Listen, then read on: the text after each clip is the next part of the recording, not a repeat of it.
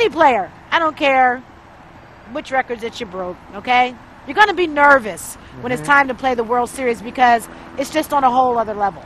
It, the stakes are higher. Yeah, Baseball's definitely. here, World Series here. Yeah. You know, but that anxiety may actually be higher even or worse for their families.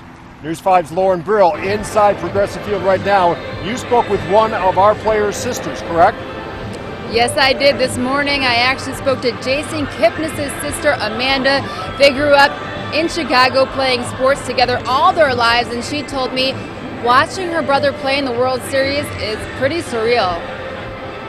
It's Going to be a new World Series champ. It'll be fun as we start tonight. I grew up wanting to be in the World Series. and I don't think you realize this life actually happens for some people. And oh my God, it's my brother. Jason Kipnis.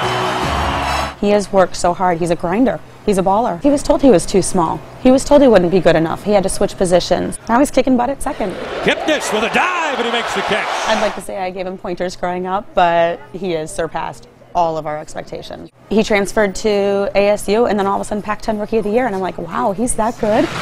Jason Kipnis socks one. The Heart and Hustle Awards he gets, the Dirtbag nickname, the fact that he's playing in the World Series. So proud of him. What a scene in Cleveland. He grew up a Chicago fan. He loved them. We all did. We grew up going to the games, but we want them to go down. To the right side. This Indians team is magical. Good play, Kipnis, two out. I mean, they shouldn't be here. They've overcome so much adversity this year. Two. Indians win game one. They're one game up in the World Series. I mean, that's not supposed to happen. Go Tribe, and I think he has the opportunity to do something in front of a home crowd that not many people can say they did.